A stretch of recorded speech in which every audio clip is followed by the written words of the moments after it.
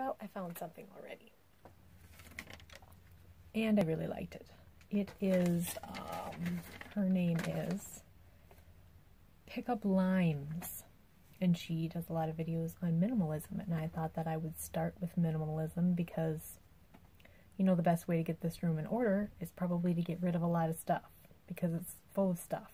And I think what I'm going to do is start with this bookshelf over here and start going through some of the books. Let's start with the bottom shelf, shall we?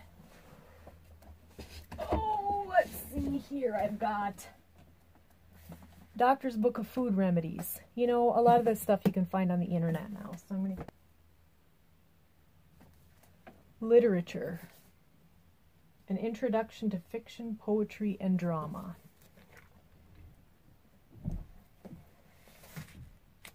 I'll set that aside for my daughter, maybe. Dictionary of American Sign Language. I took ASL. Um, my daughter's planning on taking ASL. I can't remember a lot of it. I'll save that one for her. Another one of these natural medicine cures. This was part of a book I wanted to write.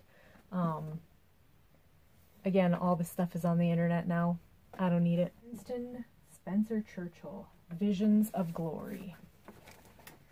This might be something that might be worth keeping. I'm going to put that in the maybe pile. The World's Greatest Letters. See, this is going to be hard.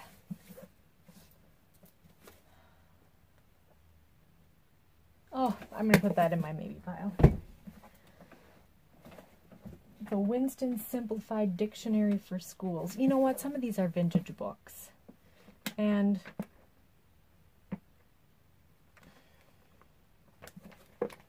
It is just a dictionary. I'm sorry, it's going in the maybe pile. Oof! The chair is falling apart. My husband came in. I don't feel like sharing this with the family yet.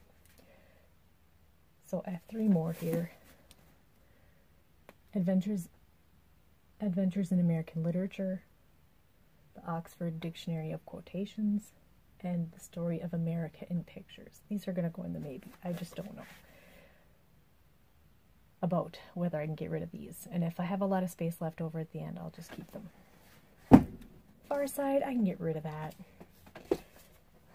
I never look at those anymore, although they are hilarious. Oh, let's see. Art portfolios can inspire the kids. The Bible and the Constitution of the United States of America.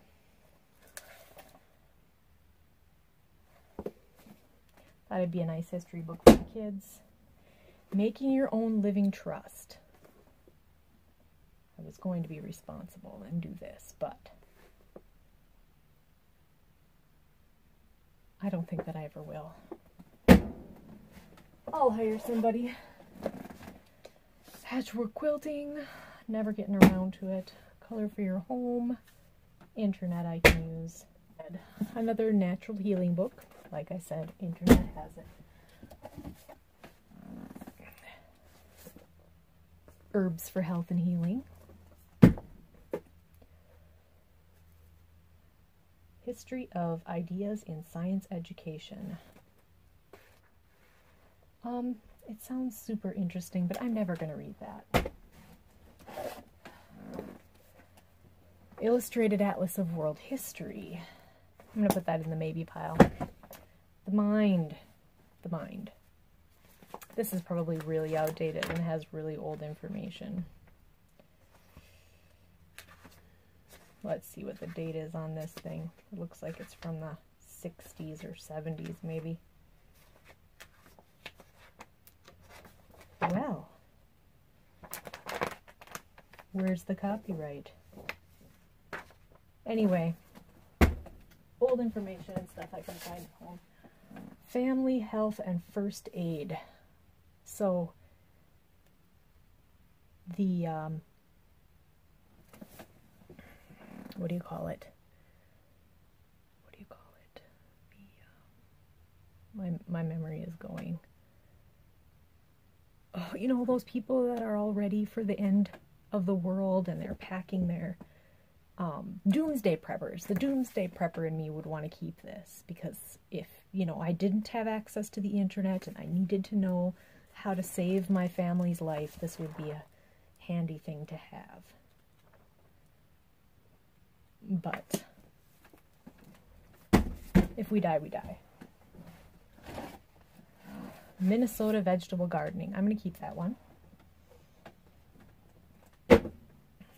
Um, build your skills with 33 simple projects in sewing. I got this for my daughter with a little sewing machine years and years ago, intending on her learning how to sew. And it did not happen. I'm going to get rid of that. Handbook of Health Assessment. I'm never going to, well, never say never, but I'm probably not going to work on the floor again. Oh, Hospice Pharmacia, invaluable tool. I'll be keeping that. Little Friends in Feathers. This looks cute. It's cute, but no. Um, I'm sorry if I keep looking at the wrong side of the phone here. keep thinking that the camera is over here, but it's actually up there. Hi. Alright, so what else have we got here? Three more on this second to the last shelf. We're getting there. Far from the maddening crowd. I will probably read that someday. Oh, this is an old Webster's Dictionary. I'll put that in the maybe pile with the other old book. All right, now we're getting up to the other shelves here. Oh, get this stuff out of the way. I always save old phone boxes because they'll come in handy for organizing. So we shall see if they actually do. Now, I have no need of this little box. I should empty it out and get rid of it when I purge things other than books. Pictures of family. Aren't we cute? Alright, so what do we got here? Let's see. Gentle Hikes, the North Shore of Minnesota. Definitely keeping that. Uh, Jane Eyre, one of my favorite books ever. Keeping that. Nurse's Pocket Guide. Don't need it. Bring Back Bluebirds. I don't know why I have that. Faith Begins at Home. Oh, that can go on to someone else. The ABCs of Classical Music. Um, Calm My Anxious Heart. I actually have one. I started to read this one and I just really didn't get into it. Um, but I got one from Max Lucado that I really like am liking so far. I just started reading it and I think I'll just keep Max Lucado one. Living a life of balance. Um, nah, don't need that anymore. Unbroken. Unbroken is a wonderful true story, um, but I don't need the um, hard copy of it. I have it on Kindle, and that's good enough. A Woman of Contentment, Ecclesiastes. I think I might keep that one. That's always something good to remind yourself of. Okay. The Living Bible Encyclopedias in story and pictures. So I had visions of children that on their own wanted to study the Bible, and I thought these would be very good for them. But realistically, you know, I'm struggling with bigger issues than that as far as the kids go. Um, so I'm just going to get rid of those. Someone else might use them and love them, and that would be great because they are great. Um,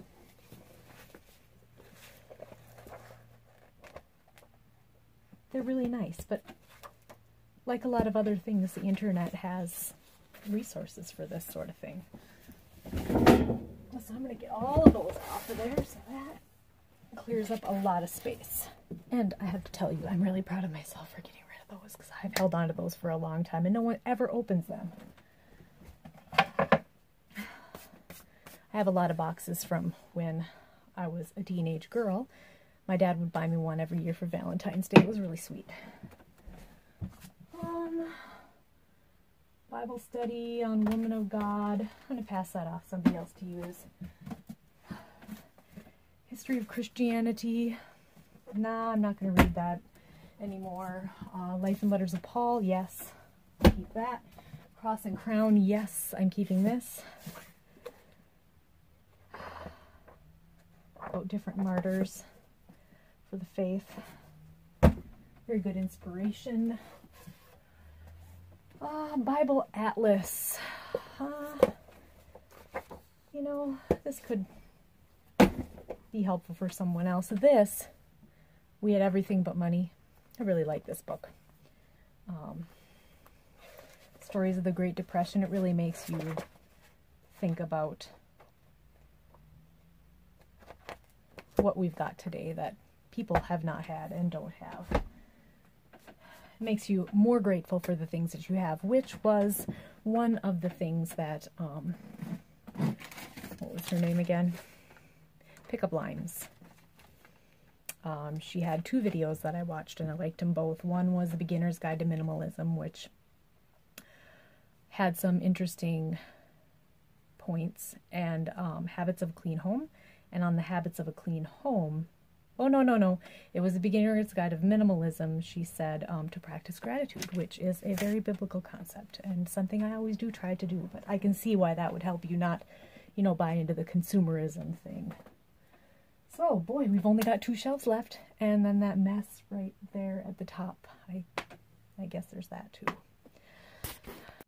Okay, let's get back to it. Almost three shelves to go. So, Guide to the Superior Hiking Trail. Definitely keeping that one.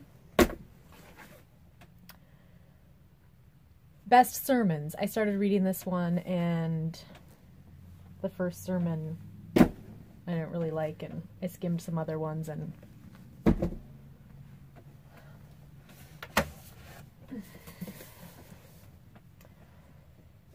Treasury of Great Moral Stories. This is a really good book to have if you have kids visiting and you want to read them an interesting story that they've never heard before. I love this book. All right. Uh, Minnesota State Parks. Definitely keeping that one. I reference that book all the time. Along the Winding Pathway, one of the only poetry books that I enjoy. Not a big poetry person. Uh, 1,000 answers to different difficult biblical questions. I can find the answers to those things online. Someone else might really enjoy that. Screwtape Letters, I've read over and over again. Definitely will be reading again. Our Troublesome Religious Questions. I'm to probably keep that one. Our Neck of the Woods, Exploring Minnesota's Wild Places. Gives me some new ideas of places to go. Um, Wycliffe Bible Commentary. I use that all the time. See, I told you these shelves are going to be harder to... This, I'll feel better if I can go through this, because I'm sure I'll get rid of all these magazines. So, what have I got here? Oh, I'm going to keep this. I'm going to start using this again. I can't remember what I was talking about the other day, but I wanted to, I was like, oh, I should pull that out and start using it. But I had this when I was in nursing school that had all of my things I needed for school every single day at clinicals that I carried around with me. And, and I love this little saying on here. Loving God, may your presence be in all that I do. May you be the gentleness my patients feel as I care for their needs. May your compassion flow through me and be a balm for those frustrated, confused, and afraid. May your love dwell in my heart and bring comfort to the brokenhearted. Amen. And I think that's beautiful. And that's the kind of nurse that I want to be. Clean eating, clean eating, clean eating, clean eating better nutrition, party food, clean eating, all this stuff can go bye-bye. It's got dust on it. DVDs, listening to the New Testament. I'm going to give that away because I don't like to listen to it. Six Days of Creation, Young Earth is not the issue. DVD.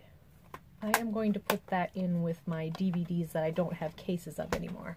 I don't I don't know why I just waved. All right. Bible history. This is old. This is copyright 1898. I'm going to have to have a serious discussion with myself about old books. And then is everything relative, examining the assumptions of relativism and culture today. Um, I think that would be a good thing to keep around, having teenage kids that are going through high school. Portraits of Perseverance, 100 Meditations from the Book of Job. Oh, you know, I've not done a very good in-depth study on Job before. I'm going to keep that. Mere Christianity, yes. Um, I've read that a few times. Seeing God and the Bible in the Constitution of the United States, I'm going to keep that. Around the Wicket Gate. Yes, I like that. If I perish, I perish. This is about Ruth and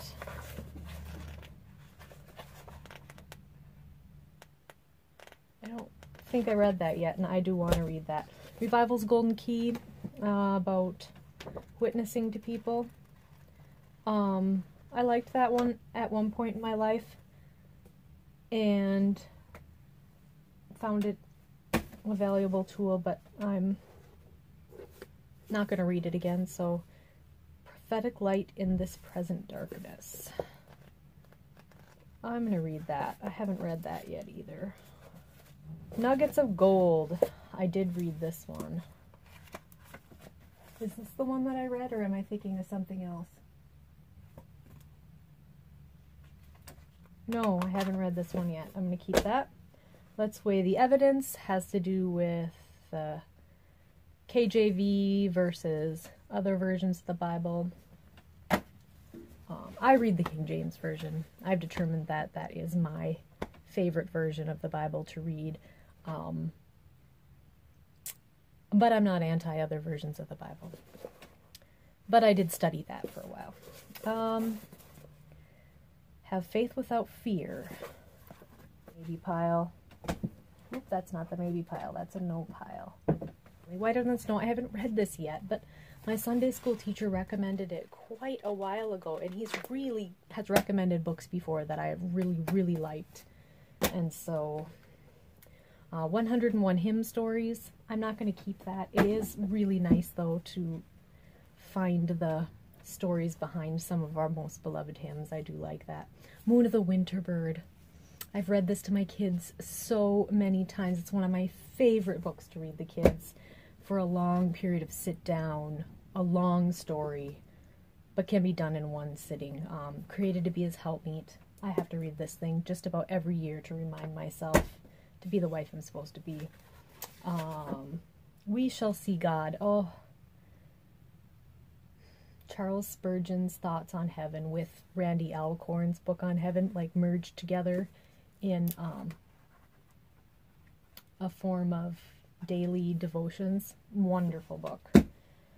Not by chance, learning to trust a sovereign God.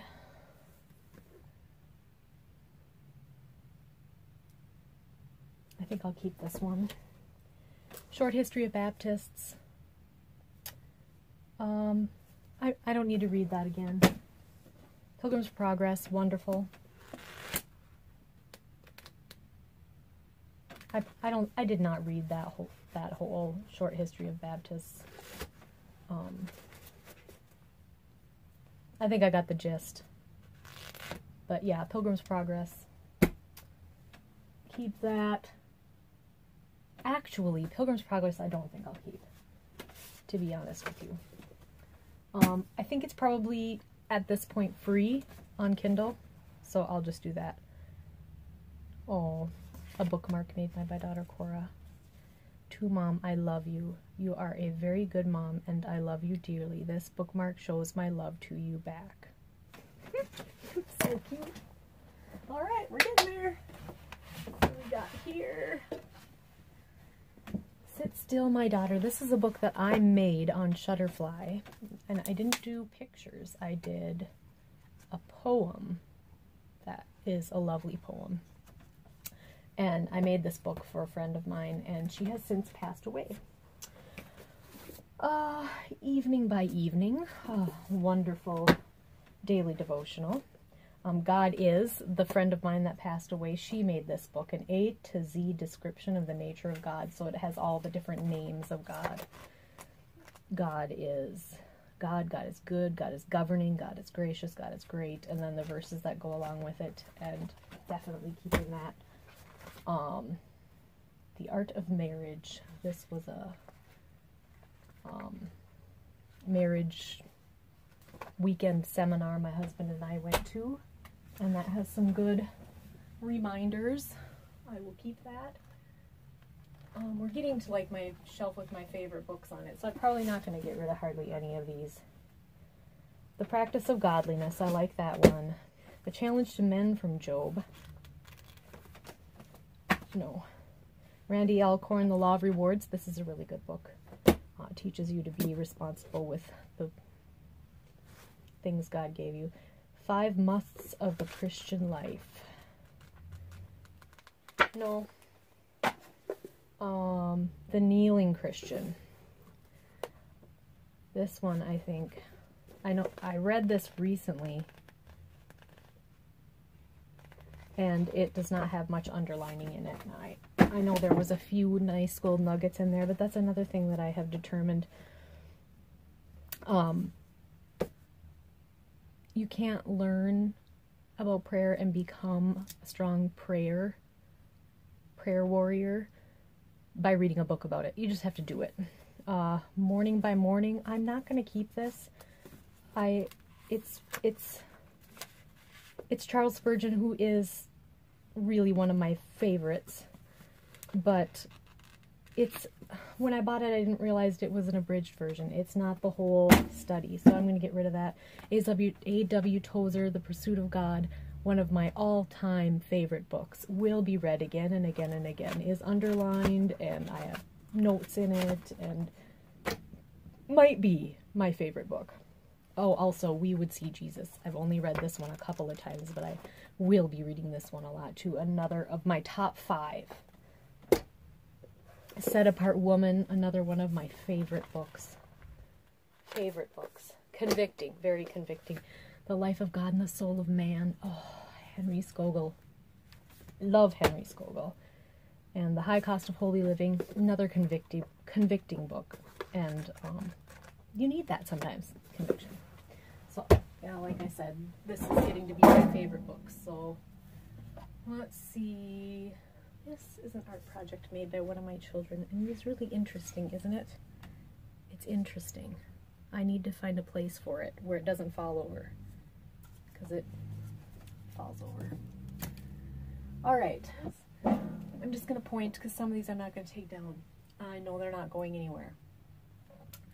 Topical Bible, commentary on the Bible, yes, I use that. Principles of Biblical Hermeneutics, I'm going to use that still. The Man God Uses, Oswald Smith, I'm going to use that. Hans Christian Andersen Fairy Tales, I'm going to keep that. Convictions to Live By. Did I say that already? Do I have two of those? You know what?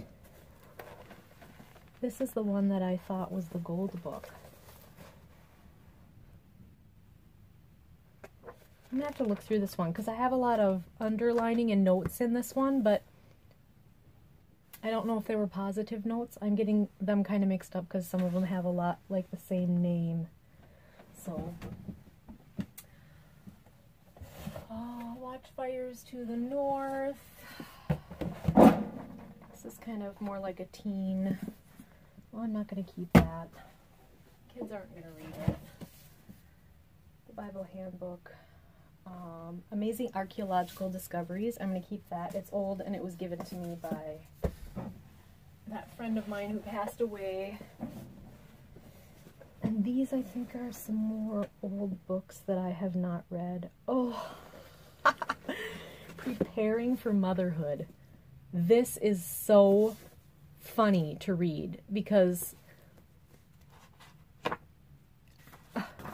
the advice that they give women on preparing for motherhood, the guide for expectant mother, her care and training, and this is from 1923. You can imagine the interesting stuff that's in here. It, it's really a hoot. It's I'm gonna keep that. All right, let God be true. I don't. I haven't read this one. Um, there's so much in here that I haven't read. See, this is why I need to get things in order because I, I don't. I want to read them. International Library of Christian Knowledge.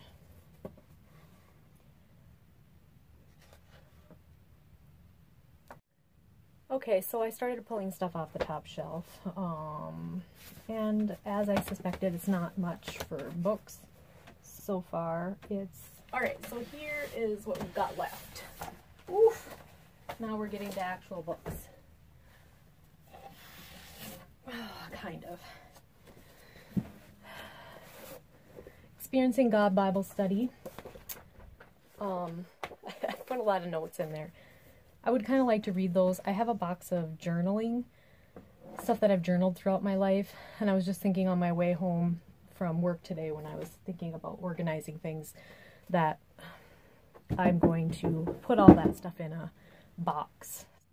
Okay, so my phone keeps stopping recording. Um, let's get through this quick. We're almost done. I printed this out.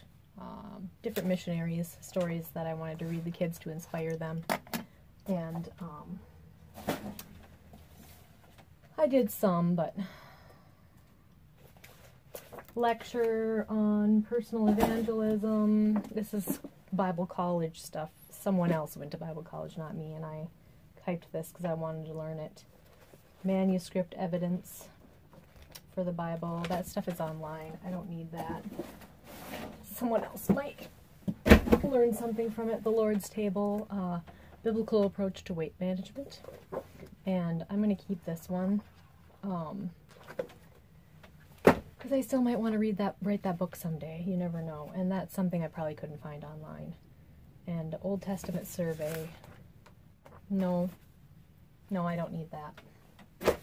Alright, so that's the gist of what was on that shelf. I will stop this here and I'm going to go through and count what I'm getting rid of and what I'm keeping. So I, I think I did okay. I think I I think I cut by at least 50%, so I think that's pretty good. Okay, I learned a little bit about Marie Kondo today, and um, realized I had to gather all of the books that I have in the house, so there were some more. Just a few more. Um, Healing in the Mind. Um, read about half of that, not going to finish it. My Utmost for His Highest, um, Oswald Chambers. One's alright, but not one of my favorites. Um, Max Lucado, Traveling Light, one of my favorite all-time books ever. I will be keeping that. Uh, Galatians Bible Study. I just got partially through that, so I'm still working on that. Um, this is my Kindle full of books. Won't be getting that and this is also my utmost for his highest, which I will be getting rid of. It's just an old version, and I came up with my neighbor has a garage sale, and she often sells old books, so I'm going to get rid of a lot of those old books that I didn't want to get rid of before, um, and I put them in the maybe pile. And so what this turned out to be, I counted it up, and now with these, um, I am keeping 60, 63, and getting rid of 69. So, like I said, about 50%.